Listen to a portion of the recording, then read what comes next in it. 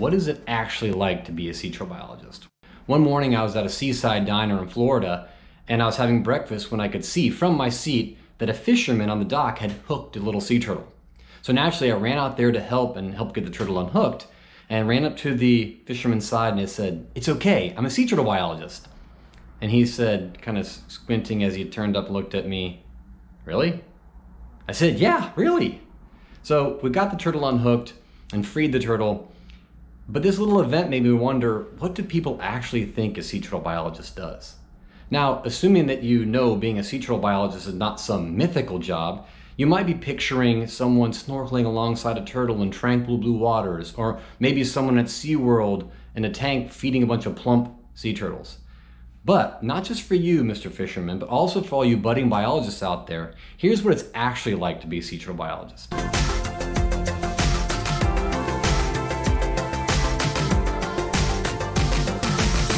Let's start with some of the less desirable bits. As a sea turtle biologist, I actually spend a lot of time away from sea turtles at my computer. Analyzing data, writing and editing scientific papers, preparing figures for conferences, writing reports, and even writing computer code in the terminal window. You know that blue screen with the white boxy letters? Oh, you know in Jurassic Park when Samuel L. tries to crack Newman's computer virus? No? Anyway, a ginormous part of sea turtle science and conservation, and science in general, is actually spent tick, tick, ticking away at our computers. This part of being a sea turtle biologist is not for the uncommitted.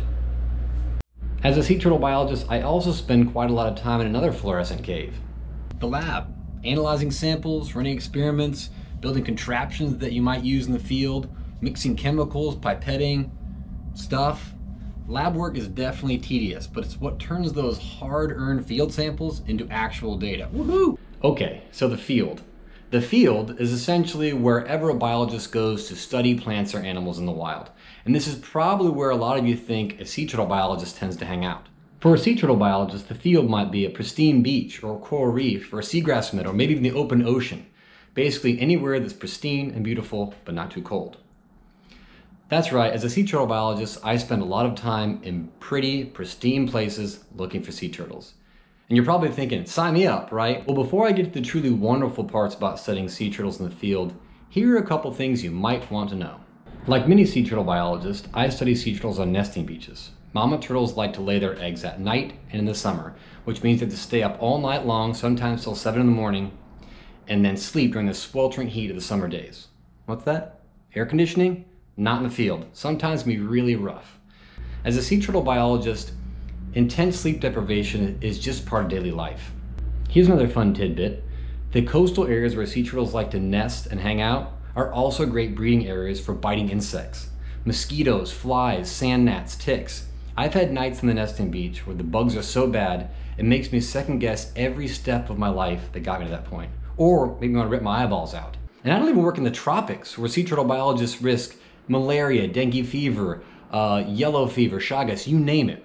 As a sea turtle biologist, being an involuntary blood donor and occasional parasitic host is just something you have to get used to. At this point, I'm going to kind of skim over persistent dangers like biting plants, scorpions, spiders, snakes, crocodilians, and some places jaguars and gorillas, not the gorillas with an O you're thinking of, and talk about the more vomit-inducing parts of the job. Yay, vomit! It's actually pretty normal for a sea turtle biologist to take up a knife and necropsy turtles that are found dead in our study areas. Now, a turtle that's been floating in the ocean for a couple days gets pretty nasty pretty quickly, and that can test even some of the strongest stomachs. And the same goes for nest inventories. Digging up and popping open unhatched eggs that have been in the ground for 70 days can be pretty vile to say the least. Actually, on my project, we call those things vomitoriums. As a sea turtle biologist, testing your vomit reflex in the name of science is just part of the game.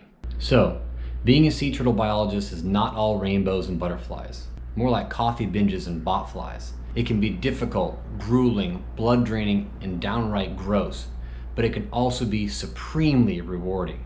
As a sea turtle biologist, I get to live in the forest and work on the beach. I get to watch every sunset and sunrise, and I get to patrol the beach under the moon and stars every night.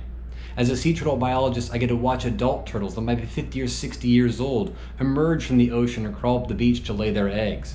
I mean, you can see the contractions, you can hear their breaths. And then a couple months later, I get to watch hatchling turtles boil up out of the sand and race to the ocean. These are ancient, awe-inspiring rituals in biology that I get to see multiple times a year that some people never see in their entire lives, and I get to do it for my job. As a sea turtle biologist, whether it's at my desk, in the lab, or on the beach, I get to feel a real sense of purpose in whatever it is that I'm doing, that it will help sea turtles survive. If it's writing a research paper to inform a conservation action or talking to a group of high school students about plastic pollution, I'm inspired by the fact that what I'm doing is making a difference. And last, and probably the most rewarding, as a sea turtle biologist, I get to share sea turtles and science with others. Like a lot of projects around the world, my project involves volunteers that come to see the turtles and help with the research. To be able to go on the beach and look for a nesting turtle and show it to people, and to see a group of hatchlings go to the water is a truly unique privilege. On top of that, I get to teach people how to collect data, and I get to talk about how science works. I get to foster an appreciation for the value of science, not just in sea turtle conservation, but also in all aspects of human life.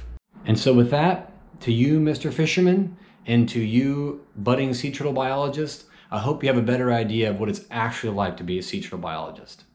Hey everyone, thanks for watching my video. Um, I hope you liked it. If you did, uh, don't forget to share this video if you're watching it on a social media feed. Uh, don't forget to like us and follow us on uh, YouTube.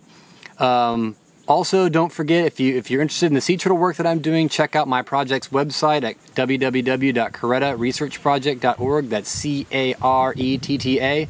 Um, thanks a bunch. Watch some more videos.